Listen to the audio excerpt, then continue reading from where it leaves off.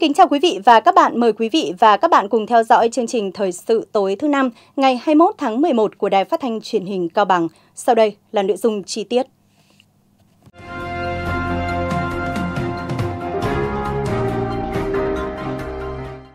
Ngày 21 tháng 11, Văn phòng Ủy ban Nhân dân tỉnh tổ chức hội nghị tập huấn nghiệp vụ công tác kiểm soát thủ tục hành chính và thực hiện thủ tục hành chính trên môi trường điện tử năm 2024. Hội nghị được kết nối trực tuyến với 10 huyện, thành phố, 161 xã phường thị trấn trên địa bàn tỉnh. Trong một ngày, các đại biểu được nghiên cứu các chuyên đề, thực trạng và giải pháp đẩy mạnh công tác cải cách thủ tục hành chính, cung cấp dịch vụ công của tỉnh Cao Bằng, ra soát, cắt giảm, đơn giản hóa thủ tục hành chính nội bộ trong hệ thống hành chính nhà nước giai đoạn năm 2024 năm 2025 hướng dẫn về số hóa hồ sơ tái sử dụng hồ sơ đã số hóa, danh mục thành phần hồ sơ phải số hóa, ra soát đánh giá tái cấu trúc quy trình thủ tục hành chính để cung cấp dịch vụ công trực tuyến, chuẩn hóa mẫu đơn tờ khai, thiết lập biểu mẫu điện tử tương tác, tái cấu trúc quy trình thủ tục hành chính thông qua kết nối chia sẻ tái sử dụng thông tin dữ liệu để cung cấp dịch vụ công trực tuyến toàn trình, kinh nghiệm của một số địa phương đã đạt chỉ tiêu chính phủ giao, một số giải pháp nhằm cải thiện kết quả đánh giá của Bộ Chỉ số Chỉ đạo điều hành và đánh giá chất lượng phục vụ người dân, doanh nghiệp, Bộ Chỉ số 766 trên địa bàn tỉnh Cao Bằng, hướng dẫn về số hóa hồ sơ kết quả giải quyết thủ tục hành chính và tái sử dụng dữ liệu đã số hóa. Tại hội nghị, các đại biểu được trao đổi kinh nghiệm thực tiễn về nghiệp vụ nhằm nhân rộng những cách làm hay sáng tạo hiệu quả, thảo luận đưa ra các giải pháp nhằm khắc phục những mặt còn tồn tại hạn chế trong quá trình thực hiện nhiệm vụ kiểm soát thủ tục hành chính của mỗi cơ quan đơn vị, đẩy mạnh việc giải quyết thủ tục hành chính trên môi trường điện tử – thông qua lớp tập huấn nhằm nâng cao nghiệp vụ công tác kiểm soát thủ tục hành chính cho đội ngũ công chức làm đầu mối thực hiện nhiệm vụ kiểm soát thủ tục hành chính, cán bộ công chức viên chức trực tiếp giải quyết thủ tục hành chính cho người dân và doanh nghiệp thuộc tất cả các lĩnh vực của cơ quan đơn vị, các cấp chính quyền trên địa bàn tỉnh Cao Bằng, qua đó hướng đến mục tiêu nâng cao hiệu quả công tác kiểm soát và cải cách thủ tục hành chính, góp phần xây dựng chính quyền điện tử hiện đại, minh bạch và phục vụ tốt hơn cho người dân, doanh nghiệp. Ngày 21 tháng 11, Liên hiệp các hội khoa học và kỹ thuật tổ chức hội thảo tư vấn dự thảo quy định ban hành danh mục cây xanh khuyến khích trồng, hạn chế trồng, cấm trồng trên đường phố và các khu vực công cộng trong đô thị trên địa bàn tỉnh. Tham dự có đại diện lãnh đạo một số sở ngành, thành viên hội đồng tư vấn, đại diện Ủy ban Nhân dân các huyện, thành phố.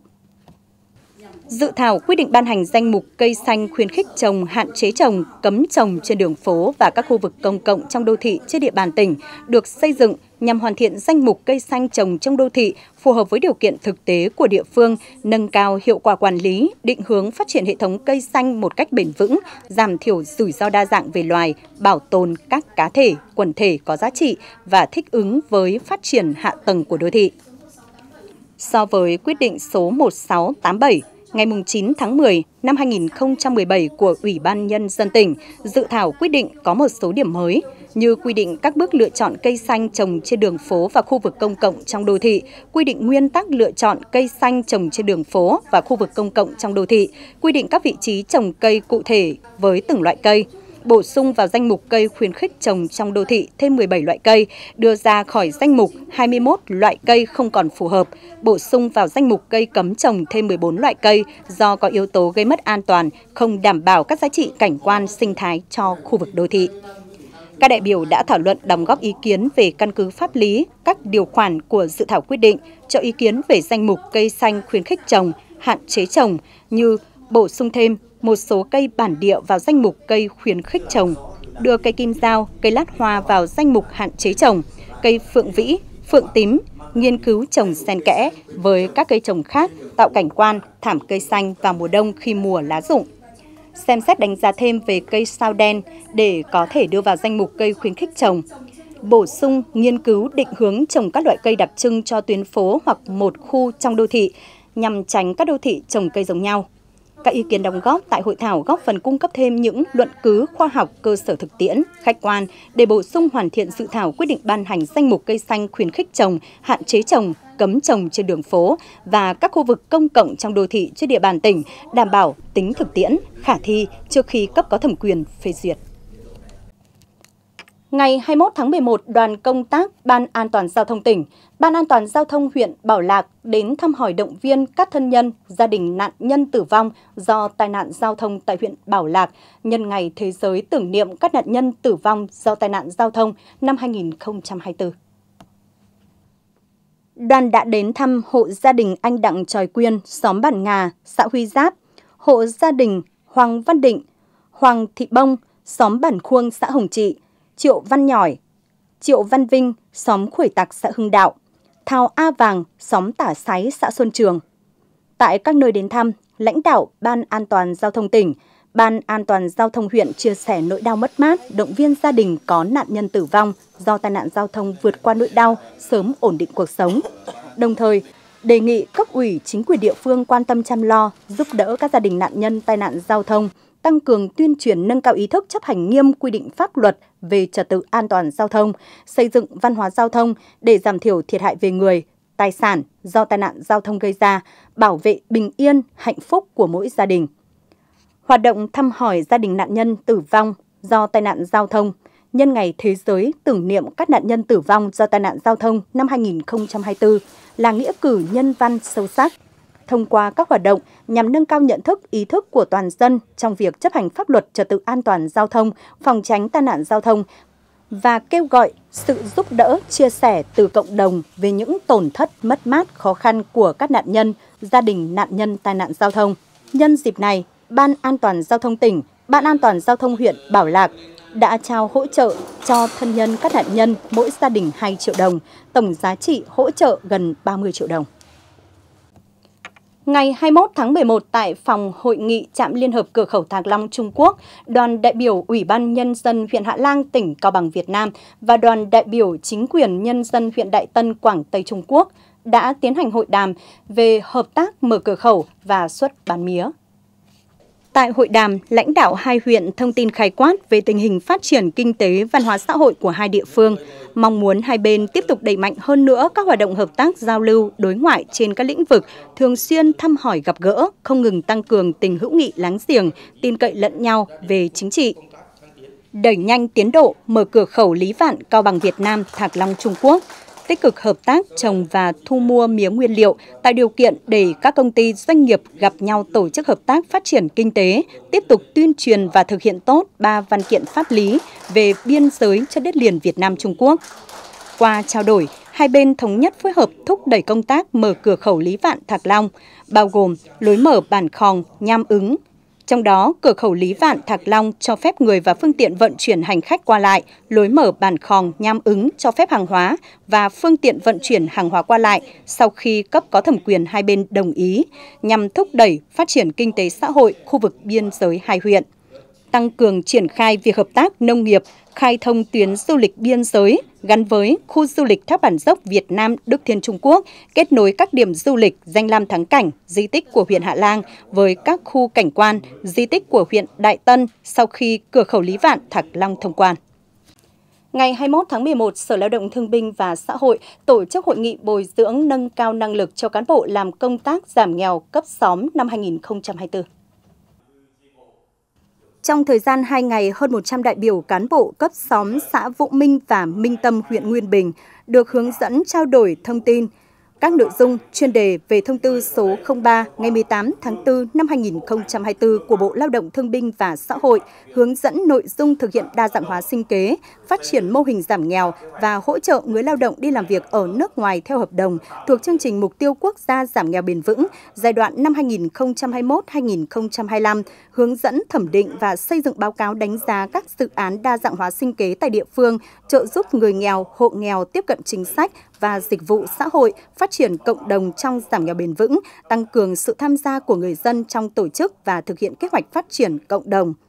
Qua hội nghị nhằm trang bị bổ sung nâng cao kiến thức cho đội ngũ cán bộ làm công tác giảm nghèo ở cấp xóm, hướng dẫn triển khai các chính sách kế hoạch nhiệm vụ trọng tâm cho cán bộ làm công tác giảm nghèo để tham mưu chỉ đạo thực hiện có hiệu quả chương trình mục tiêu quốc gia giảm nghèo bền vững tại địa phương đồng thời làm cầu nối vận động hướng dẫn thúc đẩy người nghèo được tiếp cận các nguồn lực, chủ động tham gia các mô hình dự án phát triển kinh tế gia đình phù hợp để vươn lên thoát nghèo, phấn đấu hoàn thành mục tiêu giảm tỷ lệ hộ nghèo cả tỉnh từ 4% một năm trở lên. tỷ lệ hộ nghèo dân tộc thiểu số giảm 4% một năm trở lên. Riêng huyện Hà Quảng và huyện Trùng Khánh giảm tỷ lệ nghèo đa chiều giảm 6% đến 7% một năm.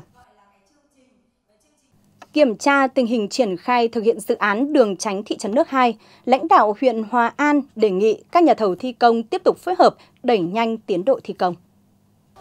Dự án đường tránh thị trấn nước 2 có tổng mức đầu tư trên 196,9 tỷ đồng, kế hoạch vốn năm 2024 là 25 tỷ đồng. Đến nay đã giải ngân được trên 11,5 tỷ đồng, đạt 46,23% kế hoạch vốn. Hiện nay, hai đơn vị thi công đang thi công đắp nền đường và đúc cấu kiện bê tông đúc sẵn, khối lượng đạt khoảng 15%. Tại buổi làm việc, lãnh đạo Ủy ban Nhân dân huyện đề nghị hai nhà thầu thi công dự án cần phối hợp chặt chẽ với nhau, đảm bảo nhân lực, máy móc và phương tiện để đẩy nhanh tiến độ thực hiện. Chủ đầu tư, Ban Quản lý Dự án Đầu tư và Xây dựng và các nhà thầu thi công có các biện pháp linh hoạt để đảm bảo đất đắp cho các nhà thầu triển khai thi công được thuận lợi. Ban Quản lý Dự án Đầu tư và Xây dựng phối hợp với đơn vị tư vấn thiết kế lên phương án việc xử lý hang cát tơ thực hiện chi trả hết các hạng mục có khối lượng đảm bảo tỷ lệ thu hồi tạm ứng hoàn thành trong tháng 12 năm 2024, tăng cường giám sát đôn đốc trên hiện trường, có nhật ký riêng để ghi chi tiết, báo cáo từng ngày, giám sát, đảm bảo tiến độ thi công của các nhà thầu, báo cáo lãnh đạo Ủy ban Nhân dân huyện trong ngày 29 tháng 11 năm 2024 hàng tuần tổng hợp các khó khăn vướng mắc khi thực hiện dự án báo cáo với các đồng chí lãnh đạo Ủy ban nhân dân huyện để xem xét và cho ý kiến chỉ đạo kịp thời, phối hợp với các phòng ban chuyên môn tham mưu giải phóng mặt bằng đầu cầu bản sẩy để đảm bảo mỹ quan và an toàn cho quá trình lưu thông. Ngày 20 tháng 11, tổ đại biểu Hội đồng Nhân dân huyện Bảo Lâm đến tiếp xúc cử tri tại xã Yên Thổ trước kỳ họp thường lệ cuối năm. Tại hội nghị, các cử tri đã có 10 ý kiến kiến nghị liên quan đến các nội dung như tiếp tục quan tâm nâng cấp sửa chữa làm mới các đoạn đường giao thông đã xuống cấp hư hỏng, đầu tư mới và nâng cấp kênh mương nội đồng, kéo điện lưới đến các khu xóm chưa có điện, hỗ trợ dọ sát xi măng cho một số hộ ở gần bờ suối bị sạt lở, xem xét cấp kinh phí kịp thời cho một số hộ dân được hỗ trợ làm nhà trong chương trình xóa nhà tạm nhà rột nát, siết chặt quản lý không cho người dân sử dụng thuốc bảo vệ thực vật tràn lan, không hợp lý, gây ảnh hưởng tới môi trường xung quanh, xây nhà bếp, cung cấp các trang thiết bị cho các nhà văn hóa xóm, tuyên truyền hướng dẫn cách tiếp cận và sử dụng dịch vụ công trực tuyến cho người dân kịp thời. Tổ đại biểu Hội đồng Nhân dân huyện và lãnh đạo xã đã tiếp thu giải trình những ý kiến kiến nghị của cử tri thuộc thẩm quyền và tổng hợp các kiến nghị chuyển cơ quan chức năng xem xét, giải quyết. Ngày 20 tháng 11, tổ đại biểu Hội đồng Nhân dân huyện Bảo Lâm đến tiếp xúc cử tri tại xã Yên Thổ trước kỳ họp thường lệ cuối năm. Tại hội nghị, các cử tri đã có 10 ý kiến kiến nghị liên quan đến các nội dung như tiếp tục quan tâm nâng cấp sửa chữa làm mới các đoạn đường giao thông đã xuống cấp, hư hỏng, đầu tư mới và nâng cấp kênh mương nội đồng, kéo điện lưới đến các khu xóm chưa có điện, hỗ trợ dọ sắt xi măng cho một số hộ ở gần bờ suối bị sạt lở, xem xét cấp kinh phí kịp thời cho một số hộ dân được hỗ trợ làm nhà trong chương trình xóa nhà tạm, nhà rột nát. siết chặt quản lý, không cho người dân sử dụng thuốc bảo vệ thực vật tràn lan, không hợp lý, gây ảnh hưởng tới môi trường xung quanh, xây nhà bếp, cung cấp các trang thiết bị cho các nhà văn hóa xóm, tuyên truyền hướng dẫn cách tiếp cận và sử dụng dịch vụ công trực tuyến cho người dân kịp thời.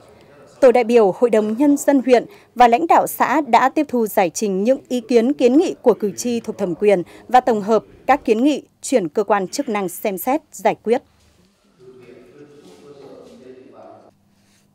Chiều ngày 20 tháng 11, Ủy ban Mặt trận Tổ quốc Việt Nam huyện Trùng Khánh và Ban Chỉ huy quân sự huyện tiếp nhận kinh phí hỗ trợ xây nhà đại đoàn kết của Agribank chi nhánh tỉnh Cao Bằng cho hộ nghèo, hộ cận nghèo trên địa bàn huyện. Tại chương trình, Agribank chi nhánh tỉnh Cao Bằng đã trao số tiền 1,12 tỷ đồng để xây dựng 14 ngôi nhà đại đoàn kết với mức hỗ trợ 80 triệu đồng một nhà. Đây là hoạt động ý nghĩa của Agribank nhằm chung tay cùng các cấp ngành chăm lo cho hộ nghèo, hộ cận nghèo, gia đình chính sách có hoàn cảnh khó khăn về nhà ở, giúp người nghèo giảm bớt những khó khăn trong cuộc sống – Nhân dịp này, Công đoàn Agribank chi nhánh Cao Bằng trao số tiền 200 triệu đồng hỗ trợ cho trường phổ thông dân tộc bán chú Trung học cơ sở Quang Vinh, Lưu Ngọc và trường tiểu học Quang Vinh cải thiện cơ sở vật chất khắc phục hậu quả sau thiên tai. Vừa qua, huyện Thạch An tổ chức lễ khánh thành bàn giao nhà tình nghĩa cho bà Phùng Thị Hội, vợ liệt sĩ tại xóm Bắc Nậm, xã Minh Khai. Bà Phùng Thị Hội, sinh năm 1940, là vợ liệt sĩ Diệp Đình Song. Hy sinh trong thời kỳ kháng chiến chống Mỹ cứu nước, gia đình bà Hội có bốn thế hệ cùng sinh sống trong ngôi nhà bằng gỗ, đã hư hỏng nặng, hoàn cảnh gia đình lại khó khăn, không có khả năng tự làm nhà mới. Bộ Tổng tham mưu Quân đội Nhân dân Việt Nam đã hỗ trợ gia đình 80 triệu đồng để làm nhà. Ngôi nhà được khởi công từ tháng 4 năm 2024, có diện tích 86 m2 với tổng trị giá khoảng 350 triệu đồng. Đến nay đã hoàn thiện và bàn giao cho gia đình sử dụng. Tại buổi lễ, lãnh đạo Ủy ban Nhân dân huyện Thạch An và Ban Chỉ huy quân sự huyện đã trao tiền hỗ trợ 80 triệu đồng cùng nhiều phần quà cho gia đình bà Phùng Thị Hội. Thưa quý vị và các bạn, thực hiện chương trình hỗ trợ xóa nhà tạm nhà rột nát từ đầu năm đến hết tháng 10 năm 2024, toàn tỉnh đã hoàn thành xóa nhà tạm nhà rột nát cho 3.387 hộ, đạt 47,56% chỉ tiêu giao. Tính từ đầu chương trình đến nay đã có 8.799 nhà hoàn thành sửa chữa, xây mới nhà ở. Tổng kinh phí hỗ trợ đã giải ngân là trên 341,1 tỷ đồng. Tính riêng trong năm 2024, các địa phương đã giải ngân kinh phí hỗ trợ 107 tỷ 680 triệu đồng, đạt 42,13% chỉ tiêu vốn giao. Trong đó, huyện Hòa An có tỷ lệ hoàn thành và giải ngân cao nhất hỗ trợ xóa 234 trên 246 nhà, đạt 95,12% kế hoạch, giải ngân kinh phí hỗ trợ 6 tỷ 982 triệu đồng, đạt 83,82% kế hoạch. Huyện Bảo Lâm hoàn thành 865 nhà, tỷ lệ giải ngân đạt 68,27%. Tuy nhiên, Hiện toàn tỉnh còn 5.218 trường hợp vướng mắc về đất đai như xây nhà trên đất trồng lúa nhưng chưa thực hiện thủ tục chuyển mục đích sử dụng đất, đất chưa được cấp giấy chứng nhận quyền sử dụng đất, đất chưa thực hiện thủ tục tách thửa, hợp thửa, chưa thực hiện thủ tục chuyển nhượng, tặng cho, đất chưa có trong bản đồ địa chính vướng mắc về đất rừng, hành lang giao thông. Năm 2024, tỉnh đề ra chỉ tiêu hỗ trợ xóa nhà tạm, nhà rột nát cho 7.121 hộ. Thời gian tới, các sở, ban ngành, đoàn thể, các cấp ủy, chính quyền địa phương tiếp tục quyết tâm triển khai thực hiện đạt chỉ tiêu giao, tiếp tục huy động cả hệ thống chính trị vào cuộc và có những cách làm sáng tạo, quyết liệt trong triển khai thực hiện chương trình – thường xuyên kiểm tra giám sát tháo gỡ các khó khăn vướng mắc, tập trung giải ngân các nguồn vốn thực hiện hỗ trợ xóa nhà tạm, nhà rột nát, giúp người nghèo có chỗ ở ổn định, yên tâm lao động sản xuất. Ủy ban Nhân dân huyện Bảo Lạc phối hợp với Sở Thông tin và Truyền thông VNPT Cao Bằng tổ chức lớp tập huấn quản trị, xử lý phản ánh, kiến nghị trên nền tảng công dân số cho cán bộ công chức, viên chức của Ủy ban Nhân dân. Tại buổi tập huấn, các học viên đã được các báo cáo viên truyền đạt một số nội dung như hướng dẫn cài đặt, quản trị, xử lý phản ánh kiến nghị trên nền tảng công dân số, hướng dẫn quản trị, xử lý phản ánh kiến nghị trên nền tảng công dân số. Thông qua lớp tập huấn nhằm đưa nền tảng vào thực tiễn, phục vụ công tác chuyên môn, nâng cao hiệu quả công tác tuyên truyền phổ biến kiến thức kỹ năng số cho người dân để phát huy tối đa hiệu quả của nền tảng công dân số. Ban chấp hành huyện đoàn Hạ Lang phối hợp với Trung tâm Chính trị huyện tổ chức hội nghị tập huấn nghiệp vụ công tác cán bộ đoàn đội năm 2024 cho 108 cán bộ đoàn các xã thị trấn và tổng phụ trách các trường học trên địa bàn huyện. Tại hội nghị, các học viên được truyền đạt 5 chuyên đề về một số vấn đề lý luận thực tiễn về chủ nghĩa xã hội con đường đi lên chủ nghĩa xã hội ở Việt Nam, hệ thống chính trị ở Việt Nam, Đoàn Thanh niên Cộng sản Hồ Chí Minh, trường học xã hội chủ nghĩa của thanh niên, đại diện chăm lo và bảo vệ quyền, lợi ích chính đáng của thanh niên Việt Nam, đoàn viên là lực lượng xung kích cách mạng góp phần xây dựng bảo vệ Tổ quốc Việt Nam xã hội chủ nghĩa, thanh niên Việt Nam trong thời kỳ đẩy mạnh, công nghiệp hóa, hiện đại hóa và hội nhập quốc tế. Bảo hiểm xã hội huyện Nguyên Bình phối hợp với công an huyện tổ chức tuyên truyền các chính sách bảo hiểm xã hội tự nguyện, bảo hiểm y tế cho thành viên tổ bảo vệ an ninh trật tự ở cơ sở trên địa bàn huyện.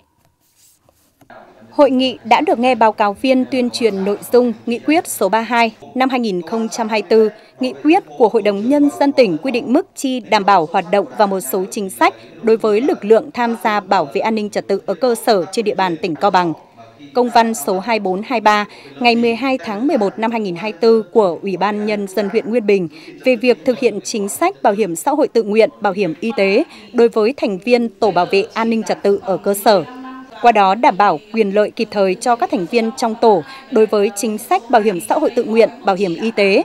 Kết thúc hội nghị, đã có trên 40 thành viên Tổ bảo vệ an ninh trật tự ở cơ sở đăng ký tham gia bảo hiểm y tế, bảo hiểm xã hội tự nguyện.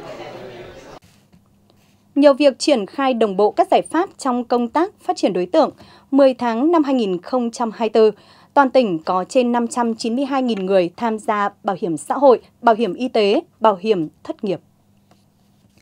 Trong đó, trên 35.700 người tham gia bảo hiểm xã hội bắt buộc đạt 94,3% kế hoạch, trên 16.600 người tham gia bảo hiểm xã hội tự nguyện bằng 56,5% kế hoạch, hơn 27.600 người tham gia bảo hiểm thất nghiệp, đạt 93,8%.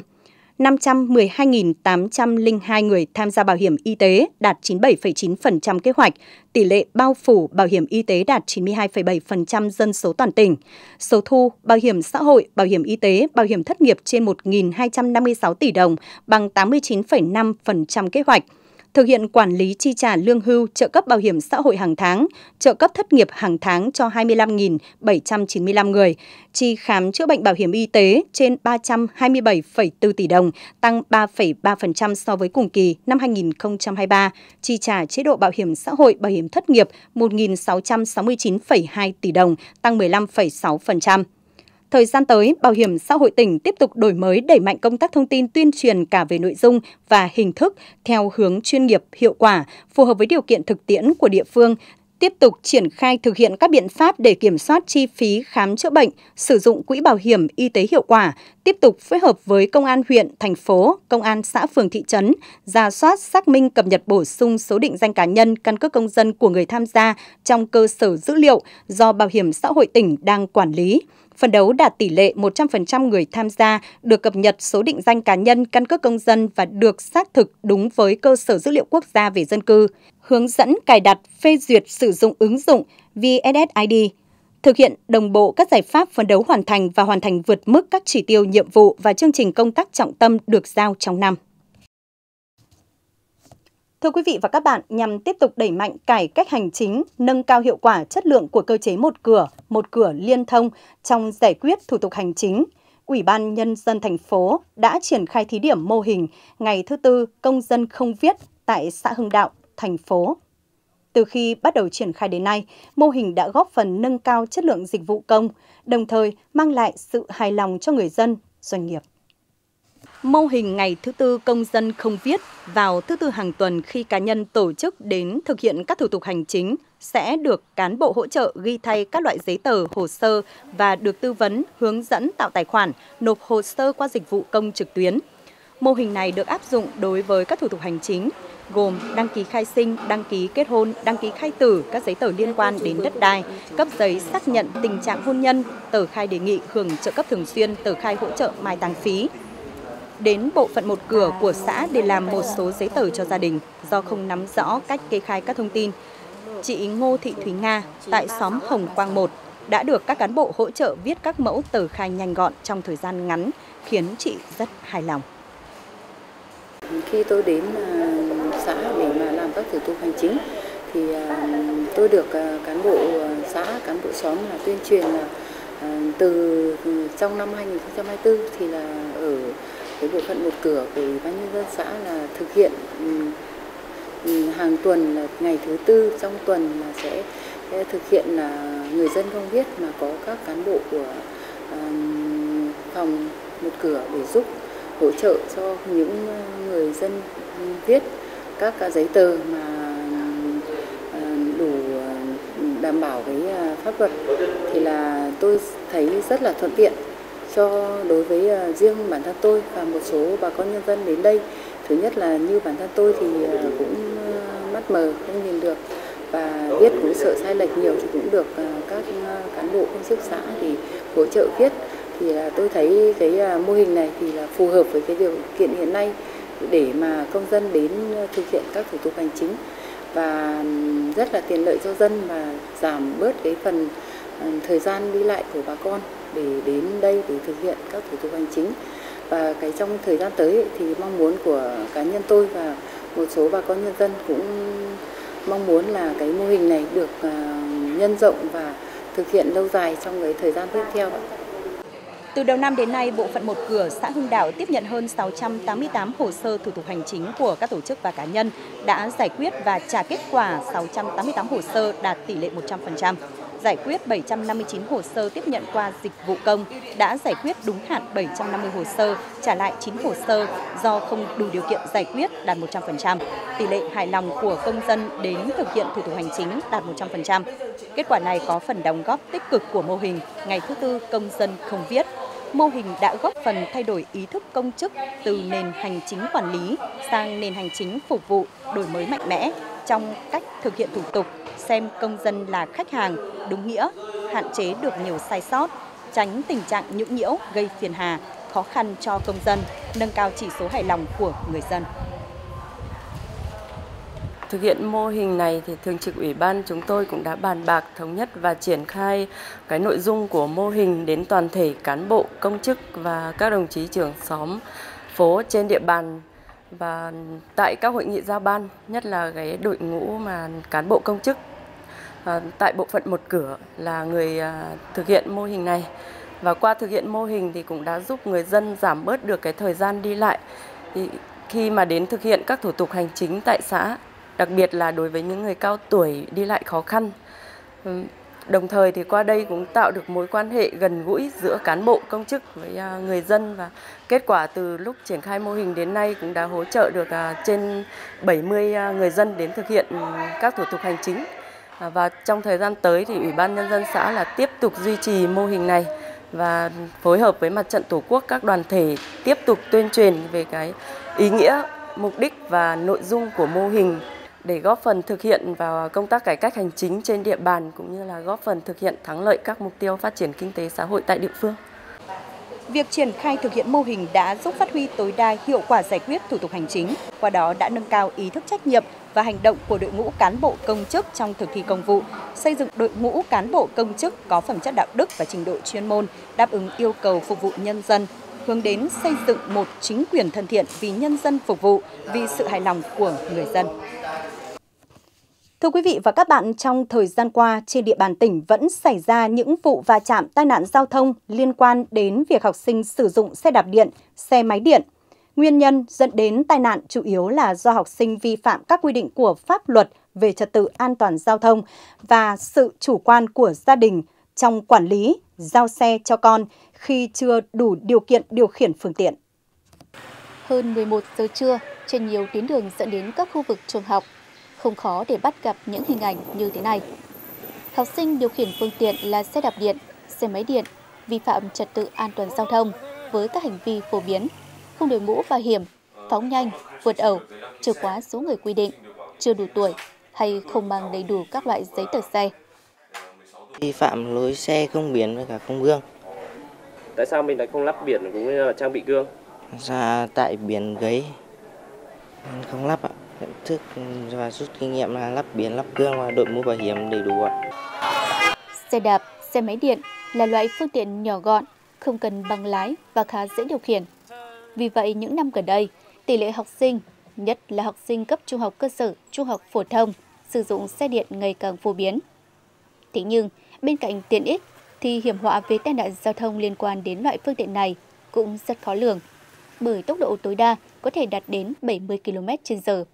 và khi di chuyển trên đường, gần như không có tiếng động cơ. Đã có quy định của pháp luật về độ tuổi học sinh được phép đi xe máy điện. Theo đó, học sinh trung học cơ sở có độ tuổi từ 11 đến 14 tuổi và học sinh trung học phổ thông dưới 16 tuổi sẽ không được dùng xe máy điện để lưu thông trên đường. Thế nhưng, nhiều bậc phụ huynh gần như không quan tâm hoặc không biết đến quy định này và vẫn sắm cho con em mình chiếc xe máy điện làm phương tiện đi học khi các em chưa đủ tuổi điều khiển. Để ngăn ngừa tai nạn giao thông từ xe đạp, xe máy điện, hạn chế vi phạm luật giao thông đường bộ từ học sinh, ngành giáo dục và đào tạo tỉnh đã phối hợp với lực lượng cảnh sát giao thông tổ chức hàng trăm buổi tuyên truyền pháp luật an toàn giao thông đến các trường học. Cùng với tuyên truyền, lực lượng chức năng cũng thường xuyên tổ chức tuần tra, kiểm soát, xử lý tình trạng học sinh vi phạm quy định về giao thông. Trong tháng cao điểm bảo đảm an toàn giao thông cho học sinh, lực lượng cảnh sát giao thông công an thành phố Cao Bằng đã lập biên bản xử lý trên gần 300 trường hợp. Trong đó có 92 trường hợp học sinh điều khiển xe điện không đội mũ bảo hiểm, 50 trường hợp chưa đủ tuổi điều khiển phương tiện, 82 trường hợp không gắn biển số, chưa đăng ký xe theo quy định, 61 trường hợp không lắp gương chiếu hậu. Với sự vào cuộc quyết liệt, tai nạn giao thông nói chung và tai nạn liên quan đến học sinh nói riêng trên địa bàn thành phố đã từng bước được kéo giảm. Sau một thời gian trên cả nước quyết tâm thực hiện cái nội dung đảm bảo trật tự an toàn giao thông cho lứa tuổi học sinh này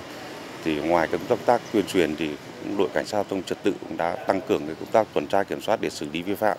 Sau một thời gian thì có thể thấy là rất nhiều phương tiện ờ, là xe máy điện, là xe mô tô chưa đăng ký phương tiện thì đã đến cơ quan chức năng để thực hiện cái việc đăng ký phương tiện theo quy định. Ờ, hiện tại trong thời gian này thì ờ, cái lượng phương tiện mà được chủ phương tiện đưa đến đăng ký xe tăng đột biến. Thì cái này là sẽ góp phần cho công tác đảm bảo trật tự an toàn giao thông, nâng cao ý thức của cả phụ huynh cả học sinh trong công tác đảm bảo trật tự an toàn giao thông tiến tới một bước là chúng ta xây dựng cái cái ờ, văn hóa giao thông là khi đã tham gia giao thông thì tuân thủ các quy định về luật giao thông đường bộ. Từ sự siết chặt trong xử lý nhận thức, ý thức của không chỉ học sinh mà chính các bậc phụ huynh cũng đã được nâng cao. Nhiều phụ huynh đã đến cơ quan chức năng để đăng ký và gắn biển số xe điện theo quy định. Theo thống kê trong tháng 10 vừa qua, đã có 367 phương tiện đến đăng ký và cấp biển thành công. Con số này nhiều gấp 3 lần so với tháng trước đó. Thực ra thì cũng mua lâu rồi, nhưng mà đợt trước ấy thì cũng kiểu bảo là có cũng được mà không có cũng được. Nhưng bây giờ thì à, công an ra quân bảo là biển số xe máy điện thì tất cả các xe thì đều phải có biển hết. Thì tôi cũng đi đăng ký cho con để làm cái biển để cho con đi lại nó thuận tiện. Để quản lý chặt chẽ hơn nữa, giảm thiểu tai nạn giao thông liên quan đến xe đạp điện, xe máy điện, thời gian tới lực lượng chức năng tiếp tục đẩy mạnh công tác tuần tra, kiểm soát, xử lý nghiêm các trường hợp vi phạm. Các nhà trường, các bậc phụ huynh tăng cường công tác phối hợp quản lý, giáo dục, nâng cao nhận thức cho con em mình tuân thủ các quy định khi tham gia giao thông. Đặc biệt là không giao xe gắn máy, xe máy điện cho con khi chưa đủ tuổi điều khiển, tránh để xảy ra những vụ tai nạn giao thông đáng tiếc xảy ra. Chương trình thời sự tối nay xin được khép lại tại đây. Cảm ơn quý vị và các bạn đã quan tâm theo dõi. Xin kính chào tạm biệt và hẹn gặp lại.